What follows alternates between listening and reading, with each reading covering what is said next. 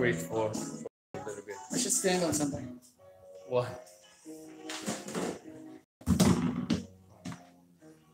No. All right. You like that.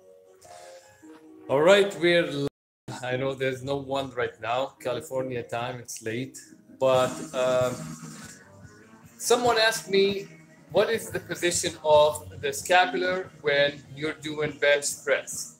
So, Doug, how should we do? Well, you have to keep in mind that power lifters have routinely pinched their shoulder blades to make themselves narrower so that they have more leverage.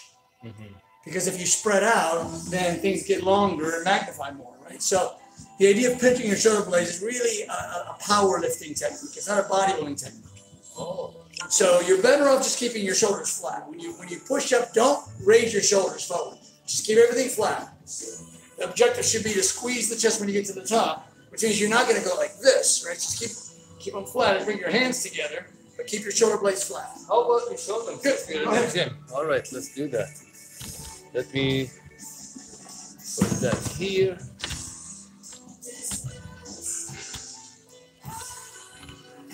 All right.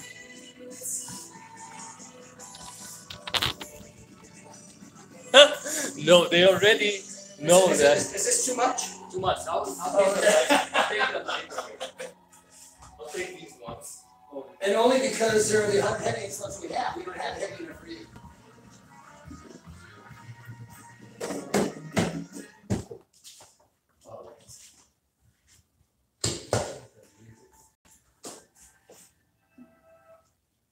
So this is a good. Uh, way Those to- boxes are fantastic because it's uncomfortable bringing them down with you and getting up. So that's just Yeah. a good way to hand them off to yourself.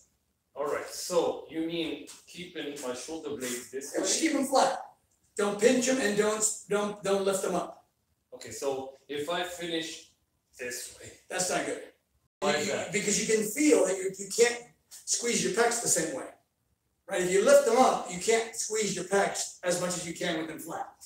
hmm and the arms position should it be like this? I, I tend to hold them at a 45 degree angle. Mhm. Now, the one thing I do want to mention to you is that you see this angle of the forearm, it's very easy to let that dip forward a little bit.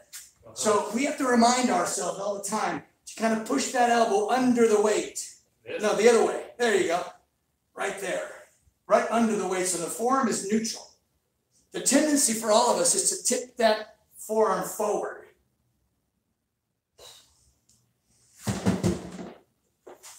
Now, if you have shoulder problems, especially if you have like pain right back here somewhere, that's what's happening is your infraspinatus is being strained because you're constantly fighting this thing from falling farther forward. Just bring your elbow under the weight a little bit better and you'll diminish the load on that infraspinatus. So you see, if you didn't tell me that, you know, I won't know it. Most So people, how, how would I know that? well, most people aren't aware of it. Most people actually can't feel it, right? Since you can't see it, right? E- by the way, even if you had a mirror right alongside you, it'd be difficult to turn your head.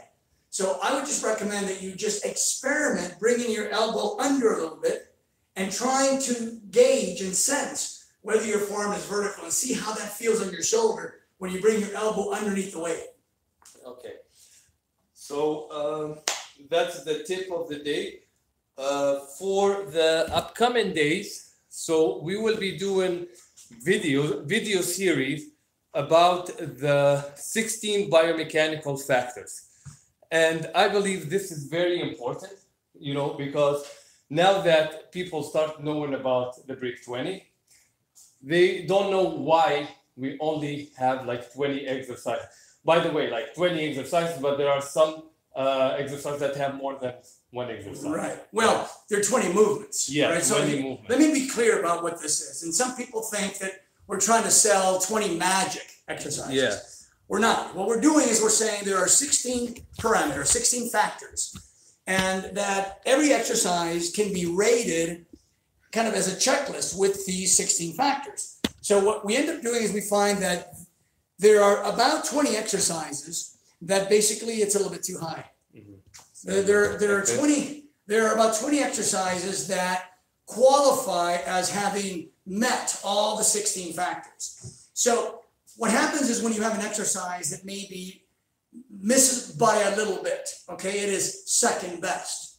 It is third best, fourth best, fifth best. The, the, the idea is to understand what constitutes best. Mhm. Because if you don't identify what would theoretically constitute the best, then you have no gauge for anything else, right? You have to know, like for example, all muscles pull, pull, pull toward their origin, right? If I'm the muscle insertion and you're move and you're the origin, I need to move directly toward you in order for that contraction to be ideal. Yeah. If I move over there a little bit, I'm not moving directly toward you. Now it's slightly compromised. If I move over there, more compromised. If I move over there, so you can see how, how much farther and farther away I'm getting. So it's important to know what is the ideal. Boom, that's the ideal. Less, less, less, less, less. So if you're in a place where you don't have the ideal equipment, it's fine. Do the best you can, but don't expect the best results. Right. Know that there's a compromise and know why there's a compromise. Yes, so that's the reason why we're doing these uh, videos. Uh, 16 video. Each video will cover uh, a biomechanical factor.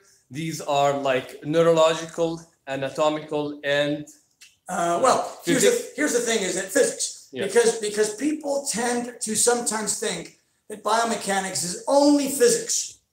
It's only math, and it isn't. Biomechanics means of the body, right? So it means physics combined with physiological things, anatomical things, and neurological things. When all of those things are met, you have biomechanics. Mhm, great point. It's not just physics. It's not just calculation of math. Right. Which is a great point. And Absolutely. we both know why Yes, it's a great course. point. So you will know, like, keep this in mind because in the future you will see why uh, this is a, an important point. So uh, we're going to uh, grocery shopping now. So we will go live again. So stay tuned. See you later.